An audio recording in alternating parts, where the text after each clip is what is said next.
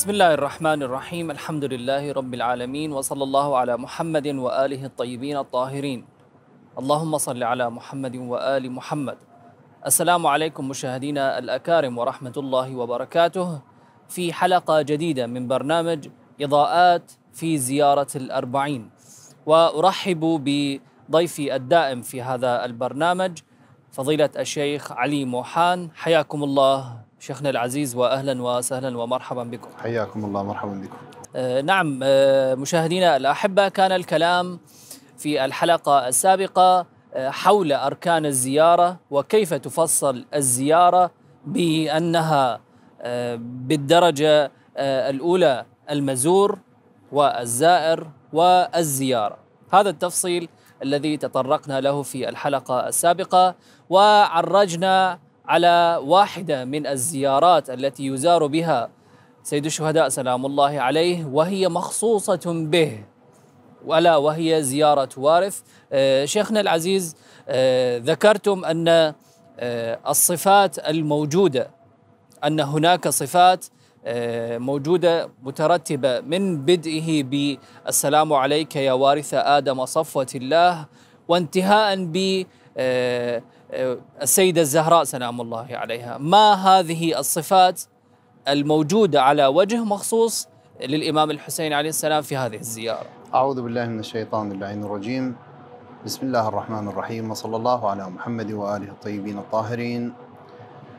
الحمد لله الذي من علينا بمجاورة الإمام الحسين عليه السلام ومجاورة أخيها بالفضل صلوات الله وسلامه عليهما وأسأل الله أن لا يحرمنا هذه المجاورة في الدنيا وفي الآخرة. آمين يا رب العالمين. نعم انتهى الكلام إلى بيان أن هذا الفعل اللي هو فعل الزيارة الذي يقوم به المؤمنون كفعل اختياري ويقوم به عاقل من العقلاء. لابد هذا الفعل الاختياري أن تسبقه مجموعة مقدمات حتى يعني يعني يتحرك الإنسان إلى هذا الفعل. من هذه المقدمات أن يكون يعني عالما يعني بالجهة التي يتحرك إليها وعالم بفائدتها وبنفعها ومن ثم يشتاق إليها وهكذا. ف سألنا هذا السؤال إنه عندما تسأل الزائر إلى أين يقول إلى سيد الشهداء؟ فيسأل إنه هل تعرف من هو سيد الشهداء؟ حتى يعني تتكلف كل هذه المسافات الطويلة وهذه المشقة الطويلة. ومن ثم الآن عندما يعني تستعرض الأعمال التي تؤدى في هذه الأيام مثلا. ابدأ مثلا من زائر يأتي من يعني من أقصى الدنيا. يترك عمل ويترك عائلة ويقطع هذه المسافات الشاسعة وينفق أموال ضخمة. ويأتي إلى هذا المكان مثلا ومن ثم يرجع. فعندما تسأله أنه يعني لماذا تبذل كل هذا الجهد؟ لأي شيء يعني ما هو ما هو الداعي الذي تريده؟ بالإمكان أنه تسلم من بعيد وتنتهي القضية. جوابه هو للحسين سلام هكذا يعني القضية تختصر بهذه العبارة أنه للحسين. يعني الآن عندما تسأل أي صاحب موكب أنه لماذا تبذل كل هذا البذل؟ هذه المشقة وهذا التنزل والتواضع لأبسط الناس والتذلل لهؤلاء يعني ما الذي تريده؟ لماذا تقوم بهذه الأفعال؟ يقول للحسين عليه السلام. الكل يعني يتحدون بهذا الجواب فنحن من باب أنه يعني أردنا أن نبين أنه نوع من أنواع التنظير في يعني شخصية الإمام الحسين عليه السلام وإلا نحن ادعينا في البداية أن الإمام الحسين عليه السلام يعني معروف في قلوب جميع المؤمنين باعتبار أن الله عز وجل قد جعل معرفته مكتومة في قلوب المؤمنين. ولكنه من باب التنظير أنه الآن عندما نأتي فلمعرفه سيد الشهداء قلنا أنه يمكن أن نأخذ هذه الجنبة أو هذه الجهة أن زيارة وارث فيها يعني ما ما يبين مقام سيد الشهداء. وقلنا أيضا أن هناك إشكالية في البحث في الحسين عليه السلام. أن هذه الإشكالية تكمن أن من يريد أن يبحث عليه أن يجعل في نظره مسألة أن الحسين السلام لا يحاط به كما أن القرآن لا يحاط به الحسين لا يحاط به. كما أنه عدل القرآن الكريم. فهو عدل القرآن. كذلك أنه هذه الزيارة الآن يعني كما نقلت لكم في الحلقة السابقة أنه بعض الأعلام مثلا الآن يريد أن يفسر يعني هذه الزيارة أو ما ورد في هذه الزيارة من صفات. واجهت هذه المشكلة أنه الآن هذه الزيارة كأنه زيارة مختصة بسيد الشهداء وكونها مختصة بسيد الشهداء طبعا إثبات الدعوة الأولى أن هناك زيارة فيها يعني هكذا أوصاف لكنه يقول أن هذه الزيارة ضعيفة ولا يمكن الاعتماد عليها وأعرض فخصصت لسيد الشهداء سلام الله عليه فزيارة وارث مختصة بسيد الشهداء. نعم. ولأنها مختصة بسيد الشهداء هذه خطوة رقم اثنين هذه يعني ضيقت علينا كثيرا. جعلت هذه الأوصاف مختصة بسيد الشهداء. أن هذه الأوصاف وراثة آدم وراثة نوح وراثة موسى وراثة إبراهيم موسى نعم. وراثة عيسى وراثة النبي الأكرم صلى الله عليه وآله وراثة الحسن عليه السلام ووراثه السيده الطاهره الزهراء عليه السلام. كأنها من مختصاتهم فيبدأ البحث بهذه الطريقة. أنا يعني ممكن أنه أنقل لكم هذه الصورة لكنه في النهاية هي تعبر عن مقدار سعة هذا الرجل سعة هذا العالم. هذا أقصى ما بذله لكي يصل لكنه ليس هو أقصى ما للحسين عليه السلام من مقام يعني الطريقة اللي يعمل بها أنه بما أن الآن نأتي ونبحث في آدم عليه السلام مثلا أن الحسين عليه السلام هو وارث لآدم عليه السلام فتقول أين ال... أين الوراثة في هذا أين الموضوع؟ الخصوصية؟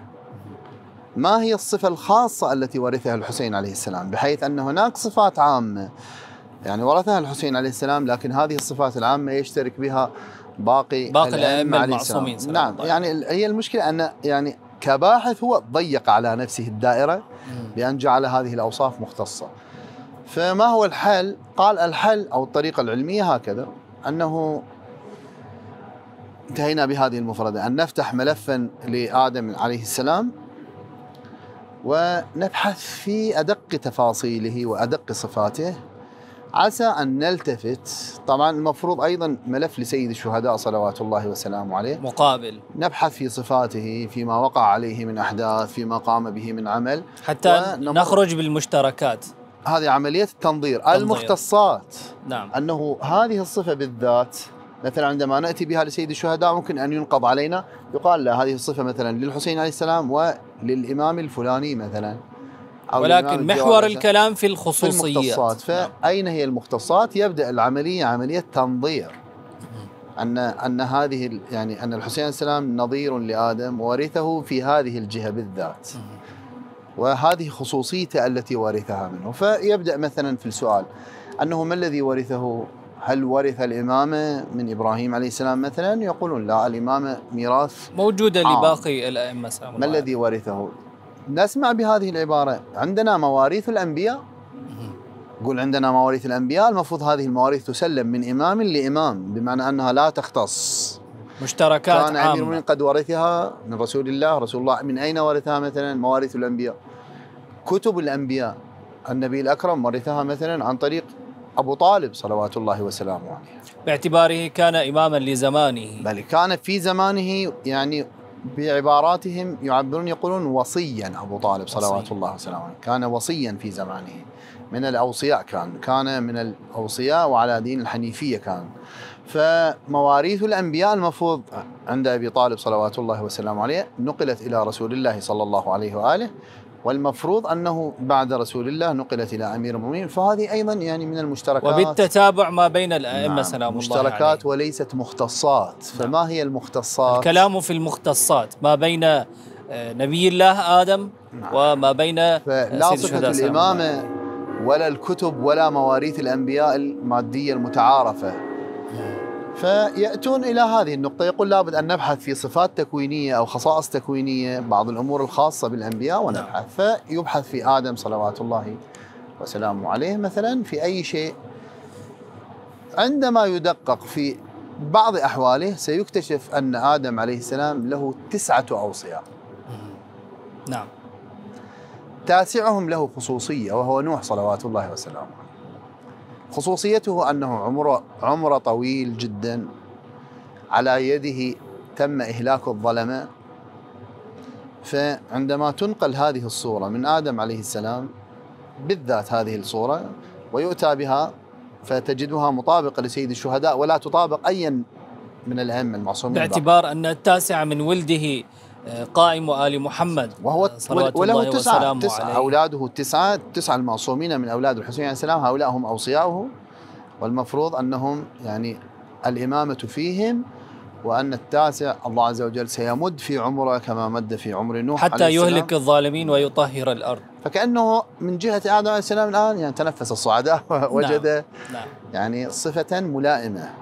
وأقول يعني دائما وأكرر هذه القضية هذه يعني يعني ممكن أن تكون معلومات يستأنس بها تقرب القضية للذهن. أما أنه يأتي الإنسان ويجزم جزما أن هذا هو المراد من وراثة الحسين عليه السلام لآدم. يقول القضية في النهاية لابد أن تذيل والله العالم. يعني باعتبار أنا ما أستكشفه من خلال المفردات ومن خلال هذه الآلية. نعم. آه، نحن قلنا نضع سجلا لنبي الله آدم سلام الله عليه وسجلا لسيد الشهداء سلام الله عليه. ونقارن ونناظر في الصفات ونأنس آه، بذكر سيد الشهداء سلام قد الله عليه يأتي من نعم. يقول لا أنا سأتبع منهجا آخر مختلفا. أحاول أنه مثلا أبحث في كلمات المعصومين. من يعتمد مثلا على التفسير الروائي يعتمد مثلا على كلمات المعصومين وينتقي منها يعني ما يشير. قد يأتي بعض آخر ممكن أن يبحث في بعض اللوازم. البعض ممكن أن يسلك مسلكا يعبر عنه بمسلك المكاشفة أنه ممكن أن يعني في المكاشفة يرى شيئا ما. على العموم في النهاية الكل يعني لا بد أن يقفوا عند هذه النقطة أنهم لن يقووا على أن يحيطوا بسيد الشهداء صلوات الله باعتباره عدل القرآن. فيبينون ويعرفون بمقدار سعتهم ومقدار ما عندهم من نعم. الآن آه، بهذا الوجه المخصوص أنه لنبي الله آدم آه، تسعة وتاسعهم هو نوح. نبي الله نوح. نعم. سلام الله عليه. وبه آه، أهلك الله الظالمين بقضيته المعروفة بالطوفان وأن للحسين سلام الله عليه آه، تسعة من ولده تاسعهم هو آه، قائم آل محمد وأمد الله سبحانه وتعالى في عمره.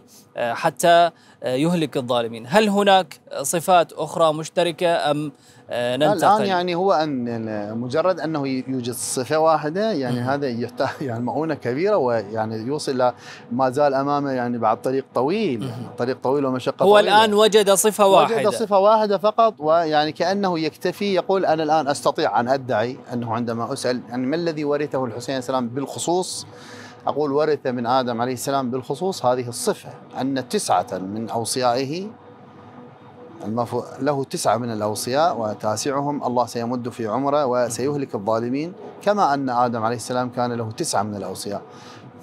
فهذا لا يعني أنه لم يرث من الأمور العامة. ورث من الأمور أنه إمامته ورث المو... يعني كتبه ورث ما عنده من من من علوم. العلم والمواريث. علمه نعم. علمه. نعم. علم الذي كان آدم عليه السلام في بعض الإشارات أنه يذكر أن له 25 حرف من العلم بعض الروايات هكذا يعني تذكر ربما يعني ما معناه أنه له ربما 25 حرف. قد بعض الروايات تكون أقل أكثر. فله هذه القدرة. فالوراثة وراثة علم يقول كلهم ورثوا العلم من آدم عليه السلام. فالآن المشكلة هذه في بحث الخصوصية أنه لماذا نزور الحسين بالخصوص؟ لماذا نتوجه إلى الحسين بالخصوص؟ لماذا أن زيارة الحسين هي الوسيلة المنجية؟ لماذا أنه الآن عندما نقول صفة عامة فقط التفت لهذه القضية عندما نقول صفة عامة وصفة خاصة للحسين يعني الآن عندما نصل إلى نوح عليه السلام مثلا ما هي ميزته؟ شيخنا العزيز إن شاء الله نتطرق لمميزات نبي الله نوح بعد هذا الفاصل. آه، مشاهدينا الأحبة نذهب فاصل قصير ونعود إليكم إن شاء الله.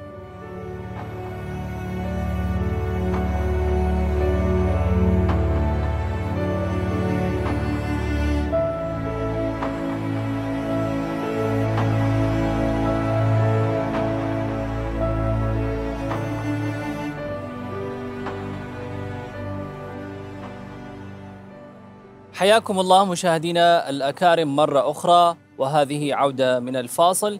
وأرحب بضيفي فضيلة الشيخ علي موحان. حياكم الله شيخنا العزيز في برنامج إضاءات في زيارة الأربعين.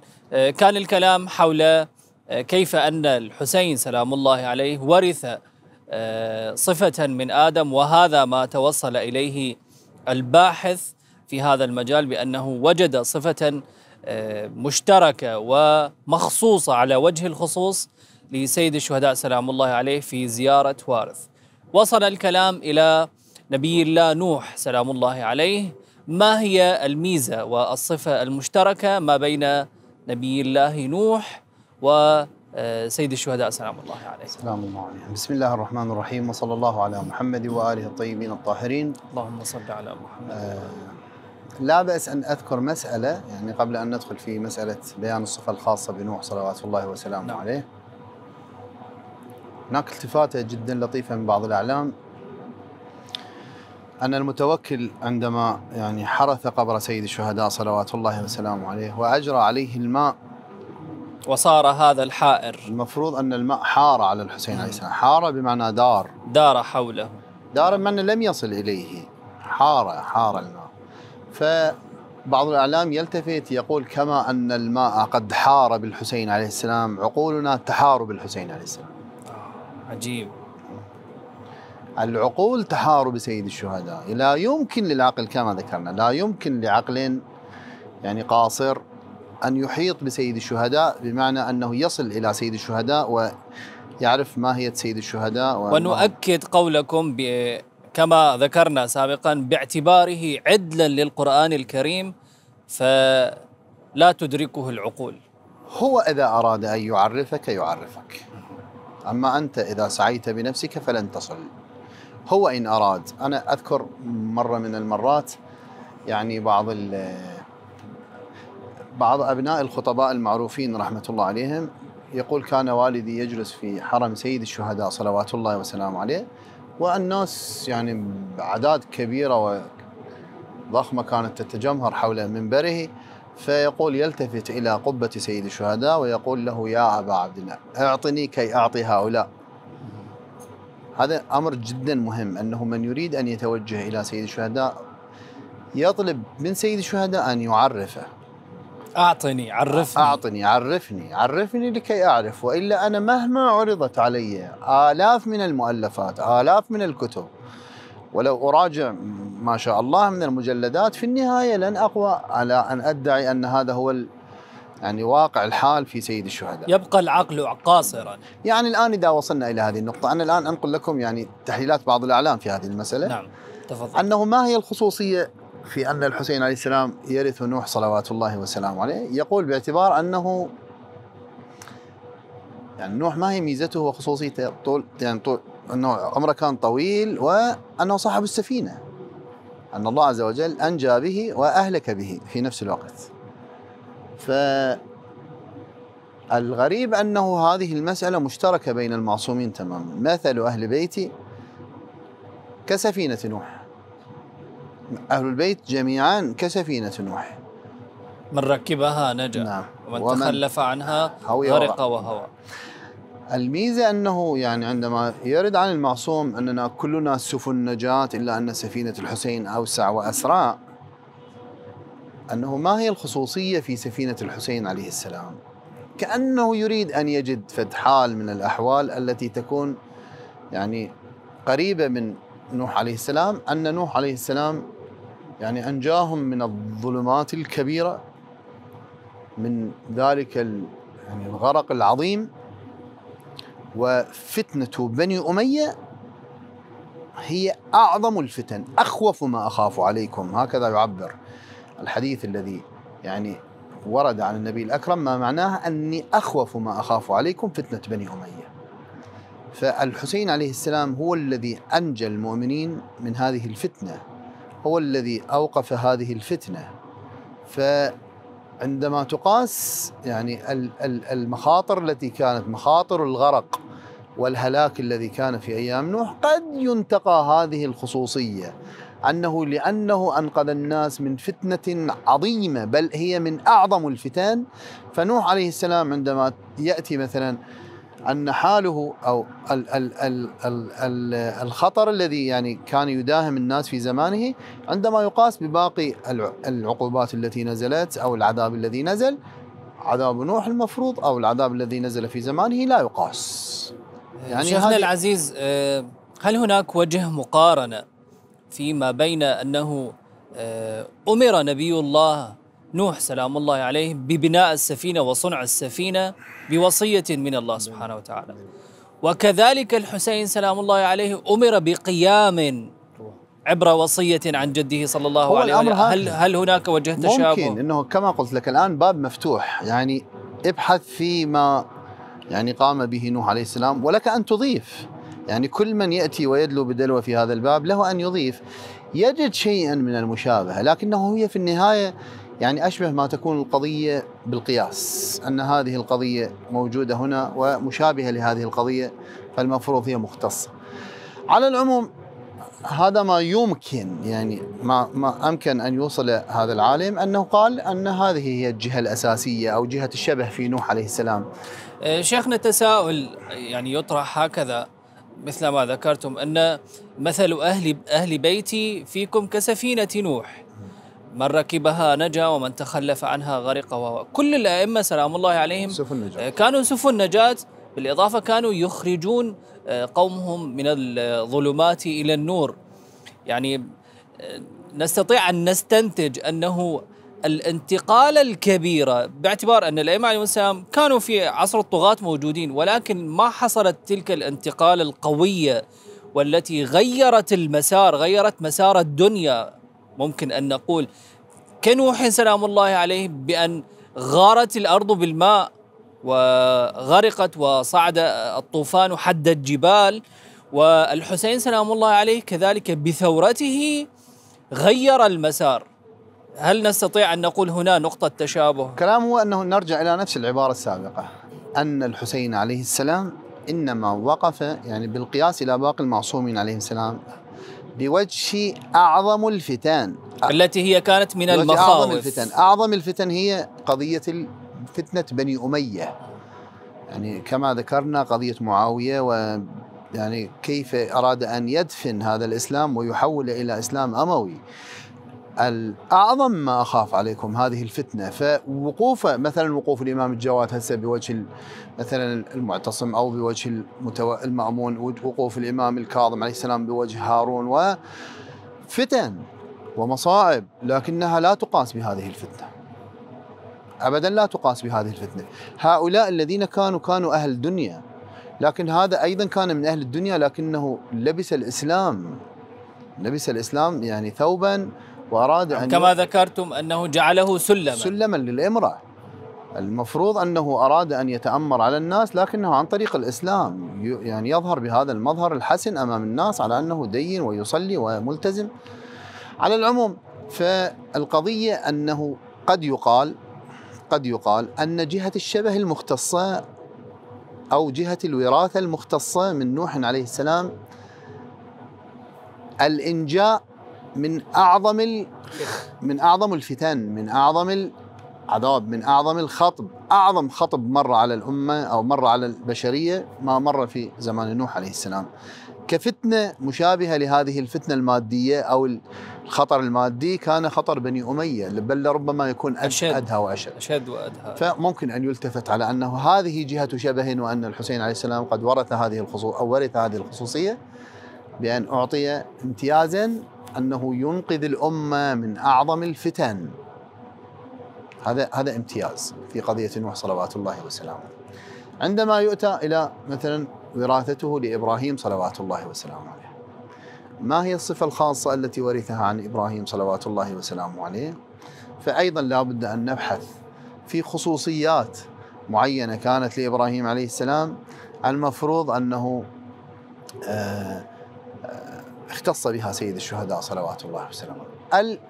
الخصوصية التي يلت- يلتفت إليها أنه قيادة ابنه عندما أمر بأن يذبح ابنه قيادة إسماعيل وإبراهيم عليه السلام كانا مسلمين لله عز وجل تسليما تاما يا بني إني أرى في المنام أني أذبحك بلى.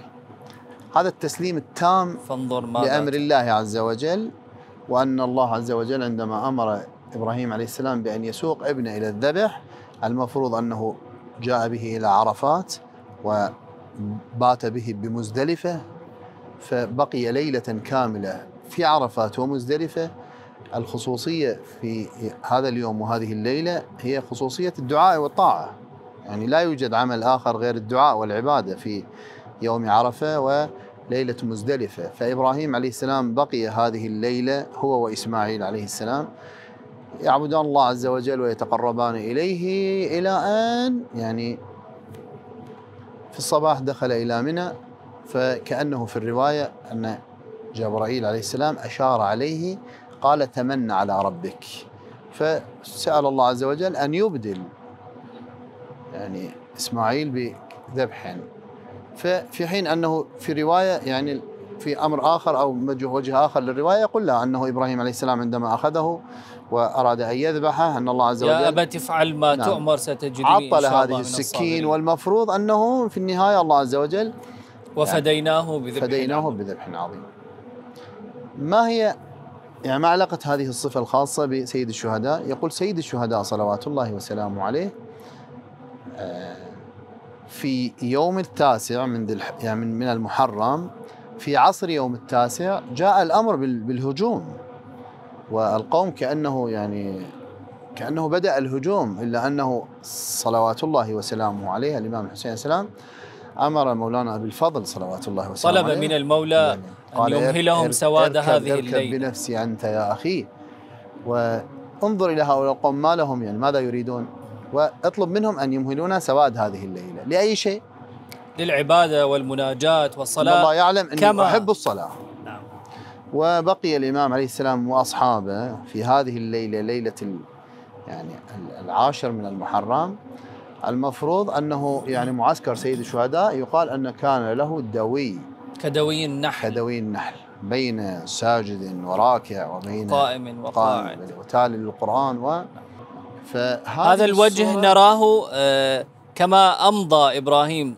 سلام الله عليه. يقول هذه الخصوصية ليلته. جدا قريبة أنها ورث منه هذه ورث منه أي شيء؟ ورث منه التسليم لأمر الله عز وجل وورث منه هذه الدقة أنه كيف يعني مارس بدقة عملية التسليم لليلة كاملة يعبد الله عز وجل مع أنه عالم أنه ما الذي سيحصل في الليل يعني في اليوم الثاني.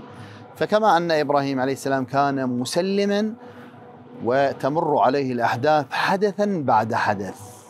أحداث جزئية صغيرة جدا تمر عليه إلا أنها لا يعني لا تزلزل شيئا من تسليمه. حتى في قوله سلام الله عليه أنه ما يصبره أنه بعين الله وهذا أدق التسليم يعني. تسليم الحسين عليه السلام في هذا اليوم وإن شاء الله لنا كلام طويل في هذا الباب. فهذا ما يمكن أن ينظر إليه وإلا أن إبراهيم عليه السلام كان إماما.